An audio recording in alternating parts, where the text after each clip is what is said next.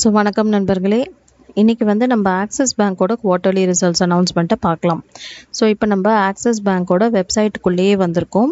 So அவங்க வெப்சைட்டில் பார்த்தீங்கன்னா அவங்க Q two FY twenty four quarterly ரிசல்ட்ஸோடைய ஹைலைட்ஸை வந்து பப்ளிஷ் பண்ணியிருக்காங்க ஸோ இங்கே வேரியஸ் ஆக்டிவிட்டீஸோட ஹைலைட்ஸ் வேரியஸ் பேரமீட்டர்ஸோட ஹைலைட்ஸ் பப்ளிஷ் பண்ணிவிட்டு கீ மெட்ரிக்ஸ் வந்து அவங்களே கீழே கொடுத்துருக்காங்க.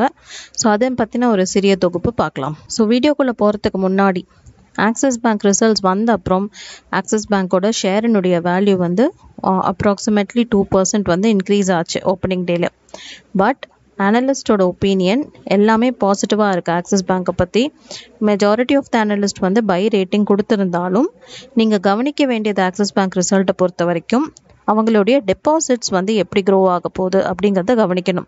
ஏன்னா அவங்க டெபாசிட்ஸோடைய க்ரோத் பார்த்தீங்கன்னா இயர் ஆன் இயர் இன்க்ரீஸ் ஆயிருந்தாலும் குவார்ட்டர்லி பேசிஸில் பார்த்தீங்கன்னா ஒன் பர்சன்ட் தான் இன்க்ரீஸ் ஆயிருக்கு. முக்கியமாக CASA current account savings account deposits வந்து அவ்வளோவா இன்க்ரீஸ் ஆகலை. ஸோ அதை கவனிக்கணும். இன்னொன்று ஆக்சிஸ் பேங்க் வந்து சிட்டி பேங்க்கோட மர்ஜர் பண்ணுச்சு. ஸோ அதனால் அவங்களுடைய ஆப்ரேஷனல் எக்ஸ்பென்சஸ் வந்து அதிகமாயிருக்கு. பட் அந்த எக்ஸ்பென்சஸ் அதிகமாயிருந்ததையும் தாண்டி அவங்க ப்ராஃபிட் காட்டியிருக்காங்க. எப்படின்னா அவங்களுடைய provisions provisions for bad debts வந்து குறைஞ்சிருக்கு. ஸோ அதை வச்சு தான் அவங்க வந்து ப்ராஃபிட்ஸ் அதிகமாக காட்டியிருக்காங்க. ஸோ இப்போதைக்கு அதை ஆஃப் செட் பண்ணிடுச்சு. அதனால ப்ராஃபிட் அதிகமாயிருச்சு. பட் ஃப்யூச்சரில் அவங்க ஆப்ரேஷனல் எக்ஸ்பென்ஸை எப்படி கண்ட்ரோல் பண்ண போகிறாங்க அப்படிங்கிறதையும் ஆஸ் அன் இன்வெஸ்டர் வந்து நம்ம பார்க்கணும். ஸோ இதை வந்து மைண்டில் வச்சுக்கிட்டு நம்ம ஆக்சிஸ் பேங்க்கோட ரிசல்ட்ஸை கோ த்ரூ பண்ணலாம். ஸோ எடுத்த உடனே அவங்க ஹைலைட்ஸில் பார்த்தீங்கன்னா அவங்க ப்ராஃபிட் ஆஃப்டர் டேக்ஸ் பற்றி சொல்லியிருக்காங்க. ஸோ அது வந்து twenty three percent year on இயர்க்கு வளர்ந்துருக்கு. ஹெச் ஒன் ஹாஃப் இயர்லி ஒன்னுக்கு அதாவது ஃபர்ஸ்ட் ஹாஃப் ஆஃப் த இயருக்கு வந்து consolidated return on equity so consolidated return on ஈக்விட்டின்னு பார்த்தீங்கன்னா அவங்களுடைய சப்சிடரி கம்பெனிஸோட பெர்ஃபார்மன்ஸ்லாம் சேர்த்து காட்டுற ரிட்டர்ன் ஆன் ஈக்விட்டி ஸ்டாண்டலோனாவும் அவங்க ரிட்டர்ன் ஆன் ஈக்விட்டியை அவங்க பப்ளிஷ் பண்ணியிருக்காங்க ஸோ அது வந்து one seventy nine basis points year on year grow ஆயிருக்கு. So one seventy nine basis பாயிண்ட்ஸ்னால் one point seven nine percentage net interest margin பார்த்தீங்கன்னா four point one one percent இப்போதைய நிலைமை but net interest margin வந்து அவ்வளோவா growth காமிக்கல இந்த வாட்டி. Specially quarter on quarter பேசிஸ்க்கு பிகாஸ் ஏன்னா அவங்க டெபாசிட்ஸ் வந்து அந்த அளவுக்கு வளரல. லோன்ஸில் வந்து அவங்களுக்கு அதிகமாக க்ரோத் இருந்தாலும் டெபாசிட்ஸில் இந்த வாட்டி அதிகமாக க்ரோத் இல்லாததுனால net interest margin which is the difference between your interest from deposits and interest from loan so இது ஒரு ப்ராஃபிட்டபிலிட்டி மெஷர் நம்ம நிறைய வீடியோஸில் ஆல்ரெடி பார்த்துருக்கோம். அதில் இந்த வாட்டி அவ்வளோவா க்ரோத் இல்லை. அவங்களுடைய ஃபீ சார்ஜஸோடைய க்ரோத் வந்து thirty percent year on year காமிச்சிருக்காங்க. Twenty three percent year on year grow loan growth so loan growth நல்லா தான் இருக்குது ஆக்சிஸ் பேங்க்கை பொறுத்த வரைக்கும். Fifteen percent retail term deposit growth so இதுலேயே உங்களுக்கு போ புரிஞ்சிருக்கணும். டேர்ம் டெபாசிட் க்ரோத்தை வந்து அவங்க ஹைலைட் பண்ணி காட்டியிருக்காங்க. பட் டேர்ம் டெபாசிட் க்ரோத்தை விட ஒரு பேங்க்குக்கு ஹெல்த்தியான டெபாசிட்னு பார்த்தீங்கன்னா CASA current account savings account so அது வந்து அந்த அளவுக்கு இல்லை. நம்ம ஏற்கனவே சொன்ன மாதிரி. ஸோ அதுக்கு கீழே வந்து பார்த்தீங்கன்னா அவங்க வந்து ஆர்ஓஇ பற்றி பேசியிருக்காங்க. நம்ம எல்லா பேராமீட்டர்ஸையும் பார்க்க வேண்டாம். முக்கியமான சில பேராமீட்டர்ஸ் மட்டும் பார்க்கலாம். நெட் இன்ட்ரெஸ்ட் இன்கம் பார்த்தீங்கன்னா nineteen percent year on year growth three percent தான் குவார்ட்டர் ஆன் குவார்ட்டர் க்ரோத்து அதே நேரம் நெட் இன்ட்ரெஸ்ட் மார்ஜின் நான் ஏற்கனவே சொன்ன மாதிரி four point one one percentage இப்போதைய வேல்யூ பட் அதனுடைய க்ரோத்துன்னு பார்த்தீங்கன்னா வெறும் ஃபிஃப்டீன் பேசிஸ் பாயிண்ட்ஸ் க்ரோத் தான். ஸோ அந்த அளவுக்கு இந்த வாட்டி க்ரோத் இல்லை. டெபாசிட்ஸ் வளராத காரணத்தினால.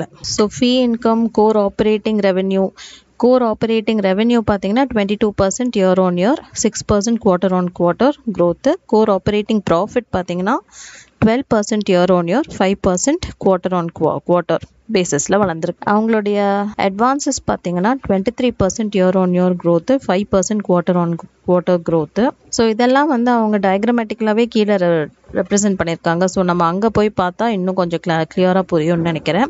ரீட்டைல் லோன்ஸ் பார்த்தீங்கன்னா twenty three percent year on year growth so இங்கே நம்ம லோன்ஸ் பற்றி பேசும்போது லோன்ஸ் க்ரோத் இருந்தாலும் நீங்கள் இன்னொரு விஷயம் ஆக்சிஸ் பேங்க்கை பற்றி கவனிக்கணும். என்னென்னா நம்ம இதுக்கு முந்தின வீடியோஸ்லலாம் கூட டிஸ்கஸ் பண்ணியிருக்கோம். ப்ரைவேட் பேங்க்ஸ் வந்து அன்செக்யூர்ட் லோன்ஸை நிறையா உயர்த்துறாங்க. முக்கியமாக அந்த கொட்டாக் ஆக்சஸ்லாம் அந்த லிஸ்ட்டில் வந்தாங்க. ஸோ இவங்க ரீட்டைல் லோன்ஸ் எவ்வளோ கொடுத்துருக்காங்க? Twenty three percent year on year growth four percent quarter on quarter growth so அதில் அவங்க அன்செக்யூர்ட் லோன்ஸ் எவ்வளோ கொடுத்துருக்காங்கங்கிறதையும் நம்ம கண்டிப்பாக போய் கவனிக்கணும். ஸோ இவங்களோட லோன் செக்மெண்ட்டை இந்த செக்மெண்ட் வந்து பிரித்து காட்டியிருக்காங்க.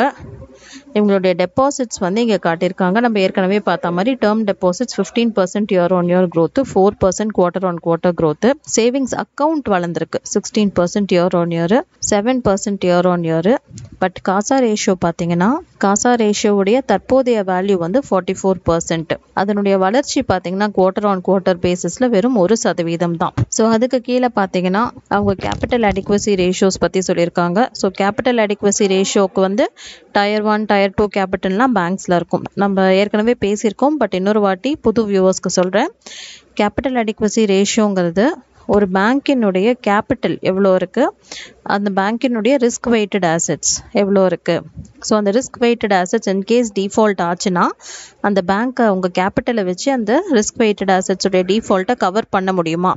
அதாவது சிம்பிளாக சொல்லணுன்னா இந்த பேங்க் வந்து ஒரு கிரைசிஸ் சுச்சுவேஷனை எவ்வளோ எஃபிஷியண்ட்டாக மேனேஜ் பண்ணும்?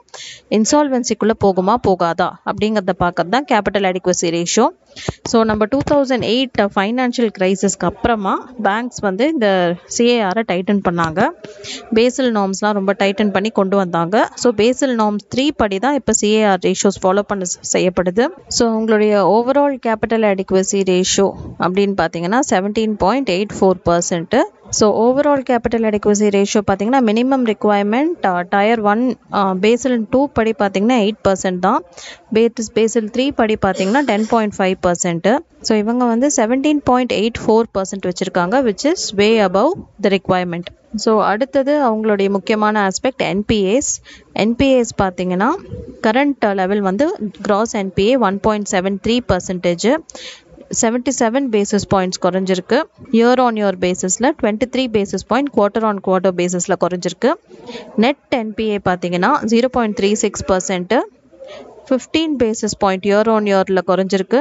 Five basis point quarter on குவார்ட்டரில் குறைஞ்சிருக்கு. அடுத்ததாக பார்த்தீங்கன்னா நம்ம ஆக்சிஸ் பேங்க்கோட கீ மெட்ரிக்ஸ்க்கு வந்திருக்கோம் கீழே. ஸோ அதில் அவங்க நெட் இன்ட்ரெஸ்ட் இன்கம் நம்ம ஆல்ரெடி பார்த்தது தான். ஆப்ரேட்டிங் எக்ஸ்பென்சஸ் பற்றிலாம் கொடுத்துருக்காங்க. ஸோ இங்கே நீங்கள் வந்து ஆப்ரேட்டிங் எக்ஸ்பென்ஸ் பற்றி கவனிக்கணும். ஸோ ஆப்ரேட்டிங் எக்ஸ்பென்ஸ் பார்த்தீங்கன்னா இயர் ஆன் இயர் பார்த்தீங்கன்னா தேர்ட்டி ஃபோர் பர்சன்ட் வந்து அதிகமாயிருக்கு. அது வந்து கொஞ்சம் அதிகமாக தான் ஆப்ரேட்டிங் எக்ஸ்பென்ஸ் இருக்குது so half yearly year on year பார்த்தீங்கன்னா உங்களுக்கு தேர்ட்டி ஒன் பர்சன்ட் அதிகமாயிருக்கு. ஸோ நம்ம ஏற்கனவே சொன்ன மாதிரி ஆக்சிஸ் பேங்க்கு சிட்டி மர்ஜர்னால ஆப்ரேட்டிங் எக்ஸ்பென்சஸ் வந்து அதிகமாயிருக்கு. பட் இதனுடைய தாக்கம் வந்து நெட் ப்ராஃபிட்டில் காட்டப்படல. ஏன் காட்டப்படலைன்னா அவங்களுடைய ப்ராவிஷன்ஸை வந்து அவங்க குறைச்சிட்டாங்க. அதனால் அந்த ப்ராவிஷன்ஸ் குறைஞ்சதுனால ஆப்ரேட்டிங் எக்ஸ்பென்ஸோட இம்பேக்ட் வந்து இது ஆஃப் ஆஃப்செட் பண்ணிடுச்சு. நெட் ப்ராஃபிட்டில் வரல. பட் இருந்தாலும் அவங்க ஃப்யூச்சரில் ஆப்ரேட்டிங் எக்ஸ்பென்ஸை எப்படி குறைக்கிறாங்கங்கிறத நம்ம ரொம்ப கீனாக வாட்ச் பண்ணணும். அப்புறம் இந்த சைடில் பார்த்தீங்கன்னா ஸ்டாண்டலோன் ஆர்ஓஏ கன்சால்டேட்டட் ஆர்ஓஏ ஆர்ஓஇயோட வேல்யூஸ்லாம் கொடுத்துருக்காங்க. க்ராஸ் என்பிஏ நெட் என்பிஏ இதை பற்றிலாம் நம்ம மேலேயே டிஸ்கஸ் பண்ணிட்டோம். Tier one capital adequacy ratio பற்றியும் நம்ம டிஸ்கஸ் பண்ணிட்டோம். ஸோ இங்கே பார்த்தீங்கன்னா total deposits year on year eighteen percent growth but இதில் காசாக கம்மியாக இருக்குது ஸோ அதை தான் நான் வந்து குறிப்பிட்டு சொன்னேன் மேலே. அதே மாதிரி நெட் அட்வான்ஸஸும் அதிகமாயிருக்கு. பட் இதில் வந்து அன்செக்யூர்ட் லோன்ஸும் கொஞ்சம் அதிகமாயிருக்கும். இப்போதைக்கு கோர் ஆப்ரேட்டிங் ப்ராஃபிட் வந்து ஹெல்த்தியாக இருந்தாலும் முக்கியமாக இப்போ நம்ம பேசின பாயிண்ட்ஸ்லாம் இந்த பேங்க்கினுடைய ஃப்யூச்சரை டிட்டர்மின் பண்ணும். ஏன்னா இப்போ உங்களுக்கு டெபாசிட் வந்து ஹெல்தி ஆனாதான் காசா அண்ட் ஓவரால் டெபாசிட் வந்து ஹெல்தி ஆனாதான் உங்களுக்கு வந்து லோன் க்ரோத்தும் ஹெல்த்தியாக இருக்கும். டெபாசிட்ஸ் வந்து ஹெல்த்தியாக இல்லை இன்னும் கொஞ்சம் சரியாகவே சரியாக காசாக ரிக்கவர் ஆகலைன்னா உங்களுக்கு அது டெ டெரெக்டாக வந்து அட்வான்சஸ் அண்ட் லோன்ஸை பாதிக்கும் கோர் ஆப்ரேட்டிங் ப்ராஃபிட்டை பாதிக்கும். அதே மாதிரி தான் எக்ஸ்பென்சஸும் ஃப்யூச்சரில் கண்ட்ரோல் பண்ணலைன்னா டெஃபினட்டாக கோர் ஆப்ரேட்டிங் ப்ராஃபிட்டை பாதிக்கும்.